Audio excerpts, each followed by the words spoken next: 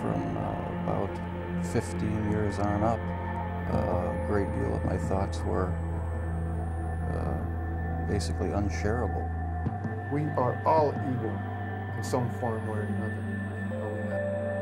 Yes, I am not 100%, but I am evil.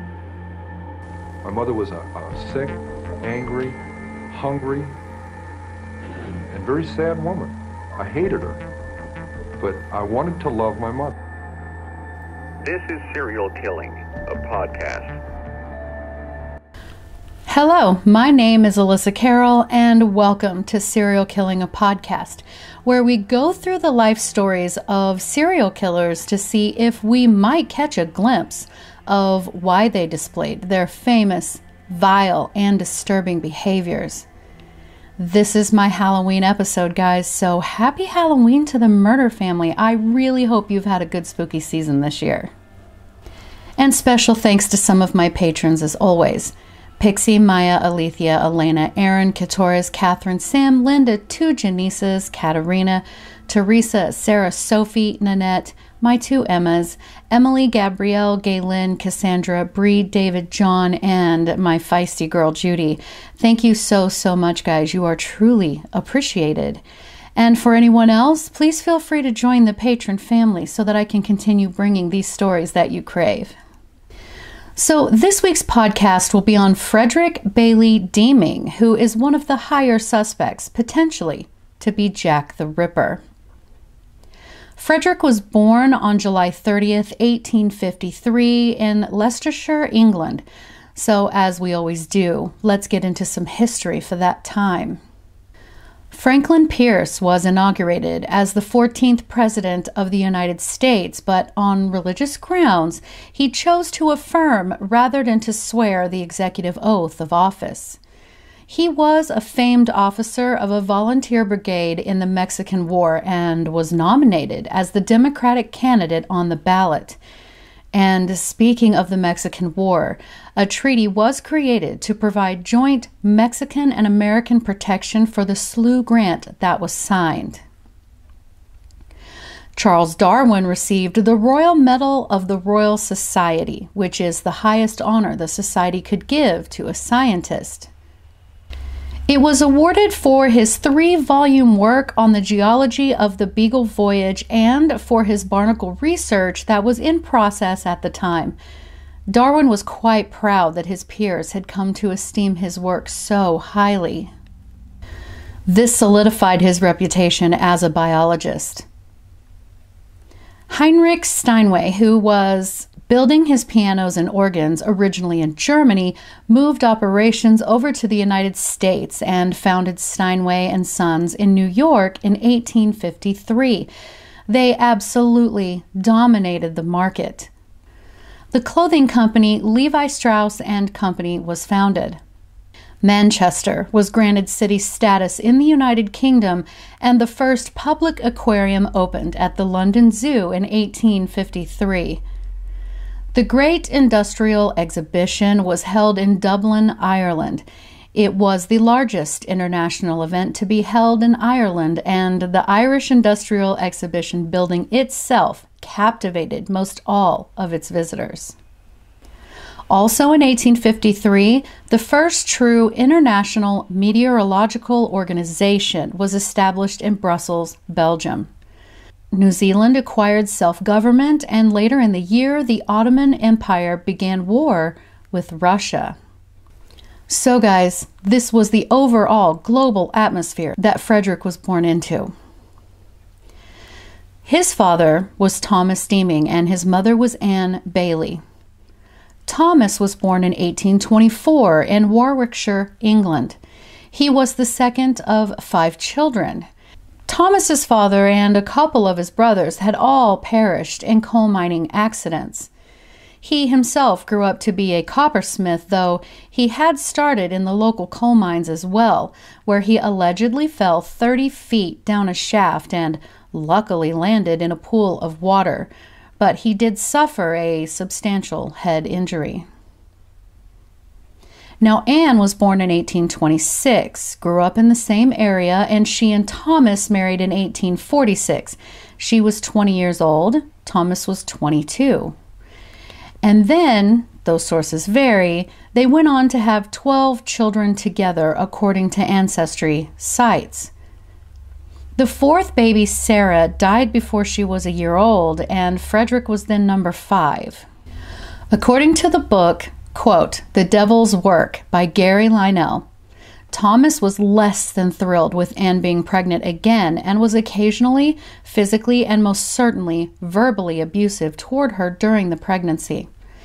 He also, in his paranoia or mental illness, would sometimes proclaim that the baby was not his. According to author Gary Lionel and the Daily Mail, Thomas, quote, swung between black moods and a fierce temper and a chorus of voices in his head, he believed one of their homes was haunted. Frederick's older brother Edward stated, quote, he was a most passionate man, and when out of temper, had no control over himself. Frederick was never a favorite of my father's. He seemed to have taken a dislike to him from his birth. End quote. While some sources differ, Gary's book states that Thomas allegedly abandoned the family when Frederick was still quite small, that he simply left for work one day and never returned. Anne was said to have been obviously scared and humiliated and went door to door until she found him and they managed to get back together. Sources state that Frederick was quite the difficult child and always sort of on the fringes of sanity as it was described. It was said that he had been known as, quote, Mad Fred due to his abnormal behavior. This could be because allegedly his father dealt out very severe beatings to his children, and as such, as Frederick was growing up, it was said that he much preferred the company and friendship of girls rather than other boys. He also cared very much about his outward appearances. His brother described him as vain. Now, his father attempted suicide a few times throughout his life by trying to cut his own throat. His own sons, including Frederick at an age, would have to physically restrain him and get the razor out of his hand. So his relationship with his mother really wasn't much better. She was a Sunday school teacher who, quote, instilled her puritanical interpretation of the scriptures to him, end quote, according to casebook.org. She was apparently obsessed with the concepts of sin and punishment, mixing deep rooted religion and science, and she insisted Frederick carry a Bible with him everywhere he went. It was said that she told him with regularity that he disgusted her and that he was, quote, the spawn of the devil himself, a twisted, evil thing she should never have pushed from her womb. End quote. And yet, she did try to protect him as much as she could from his father, and all sources indicated that she did love him in her own way. Now, Frederick's older brother, later interviewed, said that he had tried to protect Frederick from the brunt of their father's abuses, but it was difficult because Frederick was hard to keep tame.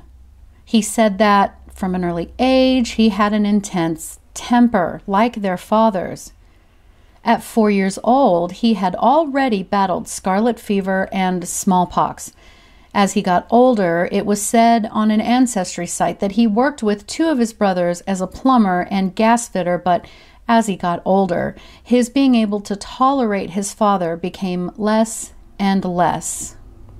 Frederick, by the age of 12 or 13, was known to disappear for sometimes weeks at a time on fishing boats, which, of course, enraged his father. At 16 years old, it was reported that he finally ran away from home and off to sea, and from there he began his life of crime. Mostly theft, fraud, and so on, but he always seemed to return home after some time at sea. And that, folks, was his childhood. And I really think it speaks for itself, but let's touch on some things. Though I have had some people try to argue with me that no physical harm can happen to a fetus while in utero, well, that's simply not true when it comes to the mother being physically abused. And the stress hormones that the mother releases during this abuse also affect the baby and the development of the brain. Emotional stress during pregnancy has strong associations with maternal anxiety disorders, infant cortisol reactivity, cognitive and emotional development, and a more difficult temperament in the offspring, including negative affectivity and poor attentional regulation. Now, Thomas, his father, suffered with mental illness that I couldn't find a specific diagnosis for, but we know he heard voices and had suicidal ideation. Now, the question would be whether or not he had developed this before, or was it a direct result of his severe head trauma? There's really no way to know.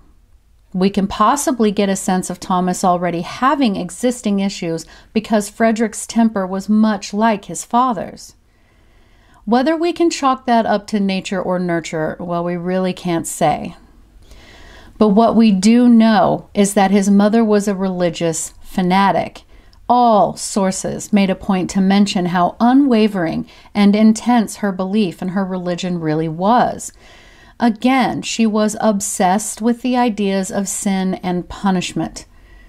According to Psychology Today, religious fundamentalism, which refers to the belief in the absolute authority of a religious text or leaders because it discourages any logical reasoning or scientific evidence that challenges its scripture, making it inherently maladaptive. While moderate versions of Christianity and Islam can promote qualities like a sense of community and a moral code that fosters ethical behavior, harmful fundamentalist versions cause the brain to process information in a biased way, causing irrationality and delusions. Religious fundamentalism is strongly correlated with what psychologists and neuroscientists call, quote, magical thinking making connections between actions and events when no such connections exist in reality. And then, outside of that, she was both, let's say, Mary the Virgin and Mary Magdalene, sinner and saint. She both loved him and tried to shield him from his father while also belittling him and telling him he was an abomination. We see this maternal Jekyll and Hyde behavior in a few of our more famous serial killers.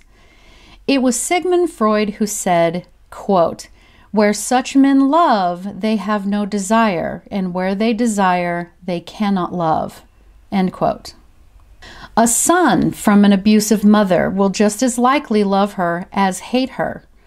Sons with mothers like Frederick or even Ed Gein will display behaviors such as avoidance and detachment in relationships, distrust of females, emotional issues in childhood and in adult life.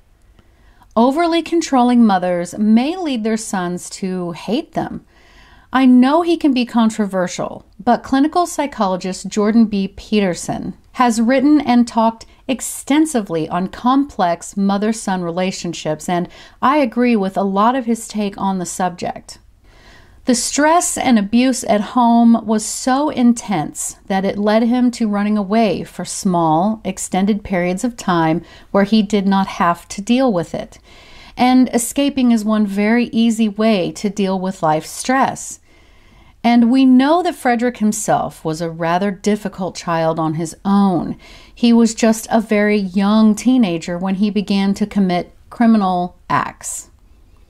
The way his brother described him, he most likely had an inflated ego, a high level of self importance, and behavioral issues, along with a mean temper, all signs of a possible conduct disorder that could manifest as antisocial personality disorder into adulthood. So I think that we very likely have a boy with a genetic propensity toward antisocial behaviors and mental health issues brought into a world full of violence, anger, and religious fanaticism. So, what could go wrong? Back and forth, Frederick would go out to sea and see other lands and even other continents, and then eventually return home. And then, though his relationship with his mother was intense, to say the least, she died. It was said she had a diseased liver, most likely cancer, and had died at home in 1877. She was 51 years old, and Frederick was 24. Very soon after, he fell ill, quote unquote, and began saying that he saw his mother floating outside of his window. He quickly took a job as a steward on a steamer ship in early 1878 and wound up in India. Not long after, he was admitted to a local hospital there. The doctor noted that Frederick had tonsillitis, but, quote, regularly suffered from shivering and fevers that might have been malarial, end quote. 83 days he stayed in that hospital, nearly three months, and in that time, the nurses stated that he began having epileptic seizures and kept getting worse and worse. Toward the end, they said that he had many seizures a day, once up to 14 in one day. He would come in and out of consciousness, and they were forced to tie him down. When he was awake, sometimes the right side of his body would be paralyzed or would twitch for a week solid or more. But when he was finally able to travel, he was sent by ship back home to England. One of his brothers stated that he was home for three months straight, quite sick, and it seemed to affect his mental state. He was seen in the wee early hours one morning walking in his night clothes, which back then was kind of like a nightgown, a waistcoat, and a bouquet of flowers going presumably nowhere. At other times, he dressed entirely in black as if he were in perpetual mourning. And that's not to be confused with modern day dressing, which is now all considered normal, but back then it wasn't. His brothers all said he would ramble on and mumble to the point that they could not even make out what he was saying. People reported hearing him talk quite loudly to absolutely no one. And yet he met and married a woman named Marie James in 1881. She saw in him some level of potential that really no one else saw, though it is believed that at 26 years old, Marie was really just trying to avoid the old maid stereotype. Marie's sister had married one of Frederick's brothers, and that is how they met. Not long after the wedding, Frederick informed his wife that he was going to be traveling to Australia, a country he had been to once previously during his travels, and he would send for her once he got settled there. Once he arrived there, he got a good job, but in trying to get the money to pay for his wife's journey to be with him, he began stealing and subsequently selling parts from his employer. He was arrested and sentenced to six months hard labor in prison. Once in prison, he began having his seizures again, but eventually recovered. So, after time served, he sent for Marie, and the pair moved down to Melbourne. Not long after, Marie discovered she was pregnant, and during all of this, Frederick was still getting into trouble with the law. They quickly had two daughters, fairly back to back, that they named Bertha and Marie, and yet he was having affairs with local barmaids and motels. He spent money frivolously, dressing himself in expensive clothing and wearing diamond rings on multiple fingers. He would impress people with grand tales of his overseas adventures and sometimes would use false names, but these grand days were short lived, and his creditors began taking him to court for money that he owed them he would, quote, cook the books, as they say, and his business dealings would find the large discrepancies. With his wife very pregnant with their third child, he finally was sent to prison again. Once he was released, he took his wife and children and moved to South Africa in 1888. They exited the boat as Mr. and Mrs. Ward. It was witnessed there that he was verbally abusive to Marie, Now, they weren't in that area long before the family boarded a ship headed to London. Marie went into labor while on the ship. There was no doctor or any medical staff aboard, and another woman and her husband helped Marie with her birth to their first son and third child that they named Sydney. And as we already know, London was both home to the greatest wealth and power at that time, as well as the most horrific living conditions in the slums. We also know that the first officially recognized Jack the Ripper victim, Mary Polly Nichols, was found slain on August 31, 1888, at the entrance of a stable in a back alley in Whitechapel. Her throat had been cut twice. One slice had gone so deep, her vertebrae was the only thing keeping her head attached. Her abdomen had been slashed and part of her intestines had been removed. There were two other women before Miss Nichols, but the differences have kept them off of the firmly established Ripper murders. Now, there's about an 18 month stretch of time where Frederick's whereabouts are pretty hazy between March of 1888 and October of 1889.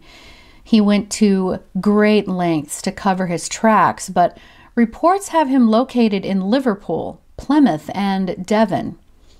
One of his older brothers had reported that his brother had visited him and other family in the back half of 1888, and it is known for sure that he was in England in October of 1889 because he was busted posing as an Australian farmer who raises sheep for market using the false name Harry Lawson. And then also, his father Thomas died in 1889 from salinity, quote unquote, as an inmate of the Tranmere Workhouse. This was a facility that housed the poor, the sick, and the mentally ill. So it does seem at least plausible that he would be in England during the Ripper murders. He was imprisoned under the name Harry Lawson in 1890 in England. And yet, it is most probable that he remained bouncing around the South African area, making appearances in Port Elizabeth, Durban, Klerksdorp, and Johannesburg, swindling and committing bank fraud with falsified documents. While completely illegal, he was netting an astonishing amount of money. Whether or not he was in England during the Jack the Ripper murders, it was during his early days in South Africa that he went to a doctor who diagnosed him with syphilis, and also during this time, he began telling people that his dead mother was visiting him and speaking to him. He later said she was telling him to kill his wife. In February 1890, Frederick was roaming about and came across a room for rent. The owner, a widow, had a daughter whom he soon married. She was 21 year old Nellie Matheson. Now, of course, the marriage wasn't legal as he was still married to Marie. Nellie was at first impressed with his ruggedly handsome looks, saying his manner was, quote, suave and engaging. But soon after the marriage, he told his young bride that he had to sail to Belgium on business. And while he did go to Belgium, he was there mostly visiting sex workers and sending very expensive paintings back to England on credit, telling everyone his name was Lord Dunn. But Nellie and her mother eventually found him in Belgium, where he was slyly conning many businesses out of money. He then began silently sending his belongings and possessions to a storage facility. As Nellie waited for her husband to join her for tea one day, he abandoned her and boarded a train to London. From London, he hopped onto a boat headed to Uruguay. The reason he abandoned her was because, well, one, Marie had found out that he had married another woman and had hunted him down and threatened to turn him in if he didn't send more money for her to care for their children. And two, because detectives from South Africa were still trying to locate him as well. But once he was in Uruguay, he was arrested and deported back to England, where he was imprisoned for four months and reportedly was a most difficult prisoner. During this, Marie had told Nellie that he was still married to her, and Nellie had had enough. That relationship was over. So in 1891, Marie wrote a letter to a friend stating she had joined her husband in Rainhill, England, just outside of Liverpool. During his travels, Frederick was wooing women, although one had to contact the captain of the ship they were on to ask for protection from him and and he had also somehow acquired a lion cub that he decided to keep chained in his yard. Someone offered to buy it, but he wanted such an insane amount of money for it, the person turned him down. Finally, Marie was able to find someone to just take the cub after it had bitten some of the neighborhood children, and the parents were obviously irate. Marie would soon discover that, while she was sleeping with her husband, who actively had syphilis, she was pregnant with their fourth child. Frederick was 38 years old. He took off again under the assumed name Albert Williams, boasting that he was a senior Army official. He leased a house and then began flirting with a young woman named Emily Mather, only this time Marie had located him again, and so he put her and the children up in a leased house while renting a hotel room for himself so that he could continue his relationship with Emily. He told people that the women and children were his sister and her children, though everyone believed otherwise. He was fair skinned with light eyes and a ginger mustache. Marie was darker skinned with dark hair they looked absolutely nothing alike. Not long after Marie and the children were settled in, in September 1891, Frederick murdered Marie and their four young children, including the infant she had just recently had. He had slit the throats of all of them, save Bertha, who he had strangled. He buried the bodies under the fireplace in his then rented house. He then covered their graves with several layers of concrete. Shortly after, he married Emily and took her off to Australia to a rented house in Melbourne. Once they were settled, that Christmas Eve, Frederick took a small axe and bludgeoned Emily in the head, then cut her throat. Once she was dead, he buried her under the hearthstone in the home's second bedroom. But never you fret, because he now was calling himself Baron Swanston. He had already charmed yet another 19 year old young woman named Kate Rounsfell and was waiting for her to travel from Sydney to where he was in Southern Cross, east of Perth. Now, in March 1892, a month after Frederick had murdered Emily, a potential lodger began to complain of a horrible smell emanating from the second bedroom. So the owner and another man raised the hearthstone and were met with the most unimaginable foul stench that they said they found themselves barely able to breathe. The police were summoned and Emily's body was found. Her autopsy showed her skull was fractured from several blows and that her throat had indeed been cut.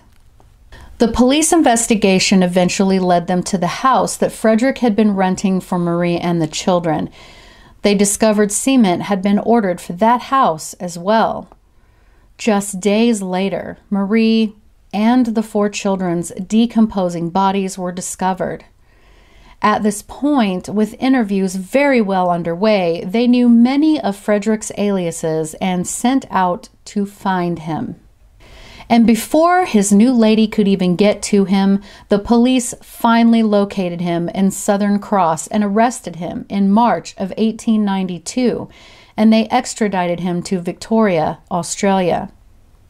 His arrival was met with angry crowds. Something quite interesting I found out was that his defense attorney was Alfred Deakin, who would go on to later become the Australian Prime Minister. Alfred and his wife especially believed in the supernatural and mediums and so on, and that's a whole other story for another time. But he was tried for the murder of Emily Mather and found guilty. The trial really only lasted for four days.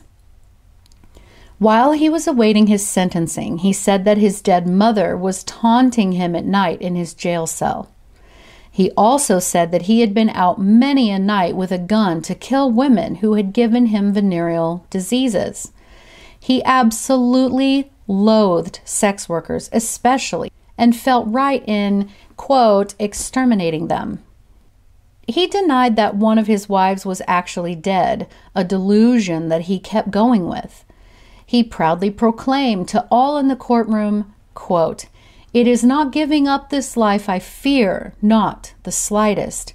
I have gone through the world, and after the dangers I have faced, I am not afraid to give up my life. I have been on the Zambezi among the black fellows and have been battered about the head and gone among bears, and gone into lions' caves, and brought them out alive, as it has been stated in the papers, and now they are alive in the hands of the men in England. He was hanged in the Melbourne prison in May of 1892. He was buried in an unmarked grave in the Melbourne prison grounds and then later exhumed and buried again at the Pentridge prison. There was a cast of his handmaid and allegedly his face as well. Now, to the Jack the Ripper portion, right? So it really didn't seem to take long for people to suspect Frederick might have been Jack the Ripper. There is a very high probability that he was in England in late 1888 when Jack was committing the Whitechapel murders. His father had died during that time, and one of his brothers stated Frederick was indeed visiting family during the crucial window for Jack the Ripper.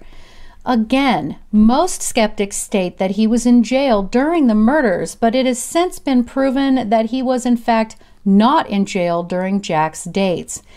The way that Frederick murdered his victims was quite similar to Jack's method, and the motive would have been easy to understand as he was so angry with sex workers because one had given him syphilis. It is widely agreed that the Jack the Ripper murderer had a pathological hatred of sex workers, and this alone could be a symptom of someone suffering from neurosyphilis.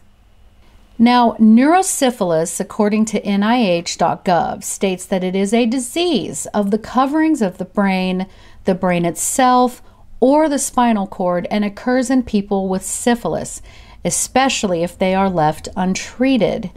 There are different levels and kinds, of course, but symptoms include an abnormal walk or gait or unable to walk, numbness in the toes, feet, or legs problems with thinking, such as confusion or poor concentration, mental problems, including depression and irritability, headaches, seizures, and many more.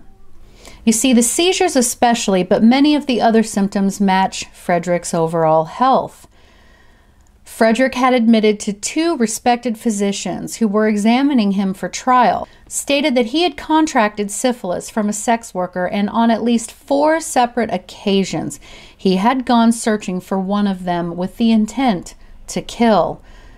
A witness to Jack described him as a fair mustached man, which of course Frederick did wear. Another woman, knowing him under the name of Lawson, stated that he was courting her in London during the time of the Whitechapel murders and seemed obsessively interested in one of Jack's victims. Frederick, after arriving back in Melbourne, asked a jeweler to clean a pair of blood stained surgical dissecting knives, which are thought to be what Jack the Ripper used on his victims. While in prison, Frederick admitted to other prisoners that he was Jack the Ripper and that the disease he had gotten from a sex worker had caused him to have seizures and brain disease, which caused him to kill. So I've left a couple of links below in the notes if you'd like to travel down this rabbit hole. And I'm not entirely convinced myself, but I can see why he would be quite high on the suspect list for sure. Will we ever truly know who Jack the Ripper was? My opinion is that I don't think we ever will, but I'd love to be proven wrong. So tell me, guys, what do you think? Leave me a comment below if you're watching, or you can DM me on Instagram at serial underscore killing. You can email me. All of my contact information is below. And most importantly, thank you so much for listening because I know you could be listening to anyone else, but you chose me, and I really appreciate that. Thank you so much, guys, and have a great Halloween.